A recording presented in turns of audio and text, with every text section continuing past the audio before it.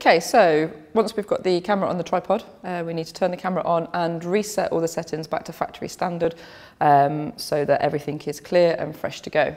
So to turn the camera on, we're just going to go to the back of the camera, press this little green button in and flick it round to camera mode. Okay. The top of the camera here is your LCD screen. You can open that and you twist that round. Okay.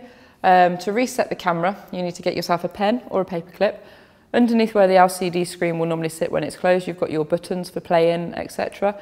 Um, in there, you've got a little button that says reset. This is where you need your pen on your paperclip, and you just press that in, and it will reset the camera for you. It takes a couple of seconds to do this. Once the camera has been reset, you will be asked to set the time and date. It's really important that you do this because you'll need it for later on when we set the external recording device to the camera. Okay, so on the side of the camera here, we have this button and this wheel that says cell, push, execute. Okay, You can scroll up and down using this and you can press it in to execute the function. So I'm going to scroll up and I'm going to set the date. Okay, so scrolling up and down and set the time. Okay, so once we've uh, set the time and date, we will then see our screen. The screen will appear black and that's because on the front of the camera by the lens hood you have uh, the lens hood that will open and close. So if we slide that up it will open and we will be able to see our picture. Okay, so in front of the camera the lens hood which protects the lens from any glare, from any direct light. Um, and then just behind that we have our focus ring and our zoom ring. So on these cameras we can zoom in one of two ways. We can either use the ring on the front of the camera by turning it one way or the other. So we zoom in and we zoom out. Or on the opposite side of the camera where your handle is, you have a rocker where you can zoom in or you can zoom out. Okay. Both are completely dependent on how smoothly you turn that focus ring yourself. So for example, if I turn quickly, it will zoom in quickly or zoom out. And the further down I press the rocker, the quicker it will zoom. Okay, so that's our zoom. Next thing that we want to do is once we've set the camera up, we've set the position up where we want the camera to be, we need to focus on our subject. In order to focus the camera, we need to make sure that the switch here at the side is set to manual. So we're going to make sure that's flipped to manual, which it is. And then I'm going to zoom in. So if you have one of these focus cards, you can zoom in on the focus card and focus. If you don't have one of these, you will need to zoom in on your subject's eye line, eyebrow, hairline, and focus to somewhere where there's detail that you can focus on. Once you zoom out, the focus will be held for you. When you're focusing within the menu system, you have something called peaking that you can set up that will give you highlighted lines on the areas that are in focus. So in order to set that up, we're going to press the menu button on the side of the camera. And we're going to go down to the third option, which says display set. I'm going to go into that option and the third one down within there says peaking. So again, I'm using this scroll wheel, scrolling up and down and pressing the button in. I'm going to go in and I'm going to turn peaking on. The colour I'm going to set to red because I like to use red because I find that it stands out quite a lot. Your other options are white or yellow. And the level you can set to high, medium or low. So it will just give, if you've got it set to high, the lines on your peaking will be slightly thicker. So I'm going to set mine to middle, just as it's the kind of middle ground. okay, to come out of the menu, I'm just going to press the menu button again. So now I've got these red highlighted lines on the areas that are, which are in focus, so it just enables me to focus. Okay, so once I've done that, I can then zoom out and my subject is then in focus. And as I zoom out, I will see the lines in the areas that are in focus. Okay, so moving on from the focus ring and the zoom ring, we then have this other ring which is called an iris ring. Okay, and this will control the iris, whether it's open or whether it's closed. In order to manually control this, um, we need to make sure that this switch that's at the side of the camera is set to manual. So I'm going to flick this down.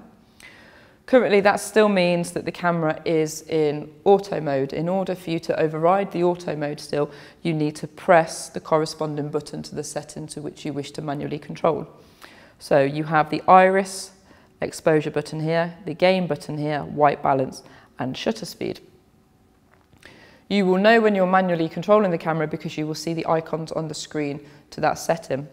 So I want to manually control my iris, I'm going to press this button and it will say F and then the figure next to that for which represents the value of the aperture or the iris that you're using. If, however, you want to control one thing manually on these cameras, you will need to control everything else. Otherwise, the camera will try and compensate for what you are trying to do. So, for example, if you have a higher aperture value, so a smaller opening, um, it may then try and slow the shutter speed down to make your image brighter.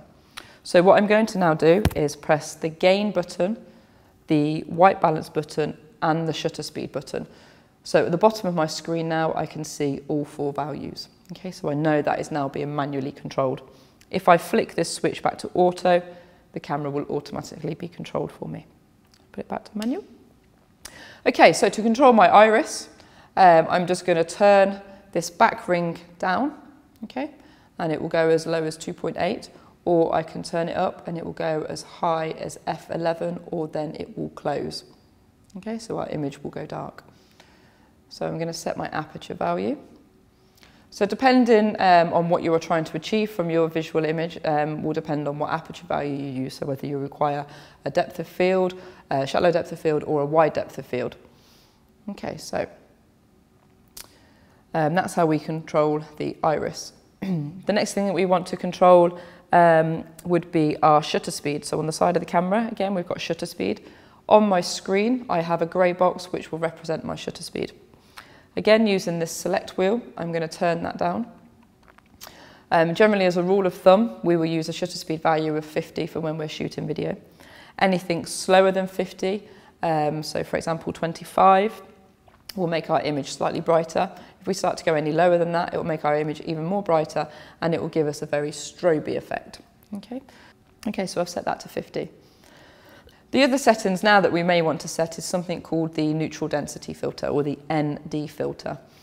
Um, you've got three levels of ND filter and you can flick this up, so we flick it to one, and this effectively is making our image darker. Okay.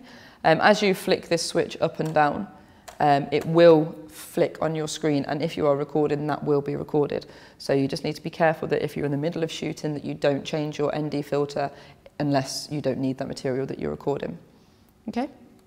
So if I set that to one, my image is darker. I set it to two, it's even more darker, and three, more so.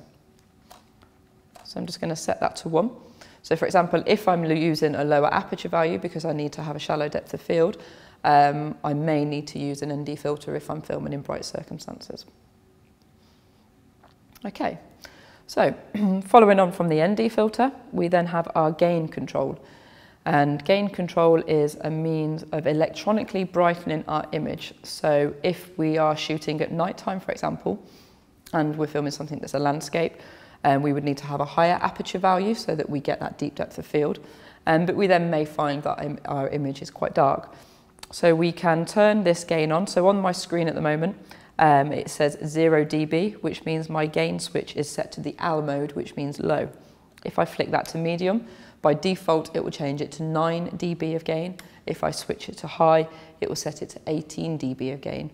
We can go into the menu system and we can change those values. So you may wish to have low at 3 dB, for example, medium at 6 dB, and high at 9 dB. It completely depends on your circumstances in which you're filming.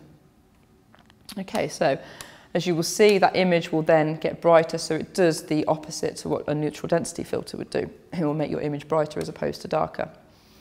What you need to remember, um, especially if you're filming something that's quite dark, um, if you use a high amount of gain, your image will become very noisy, very grainy. Um, so your blacks won't be particularly smooth. You'll see a little bit of distortion on there. So it's always something to bear in mind when you're filming. Okay. Our last setting on the side of the camera is our white balance. Okay, again we have a little silver switch at the side of the white balance, uh, below the white balance, sorry. Um, and we can have that set to preset, which in the menu we can change that preset from indoor tungsten lighting or outdoor uh, daylight, or we can set our own Kelvin values. Okay, um, the other way that we can white balance is by having the switch next to A or B. So if we switch that next to A or B, um, I'm then going to zoom in onto something that's white and I'm going to focus. And then just to the side of, the side of that switch, we have a little circular button. I'm going to press and hold that. At the bottom right hand corner of my screen, I will see a little A that will blink really quickly and then it will set to a value and it will tell me what that white balance colour temperature is. If I then zoom out, the colours that I see on my screen should be visually representative of what I am filming. I can then switch that switch to B if I wish. So if I move to a different location, I can switch that to B. I can set white balance. And then providing the lighting stays consistent in the two areas, I can just flick between A and B whenever I move location. Okay, so it saves you having to re-white balance. That's indoors. If you are outdoors, um, you will need to white balance on more of a regular occurrence because the lighting will change from when uh, you have dawn all the way around to dusk. So you will need to white balance on more regular occasions.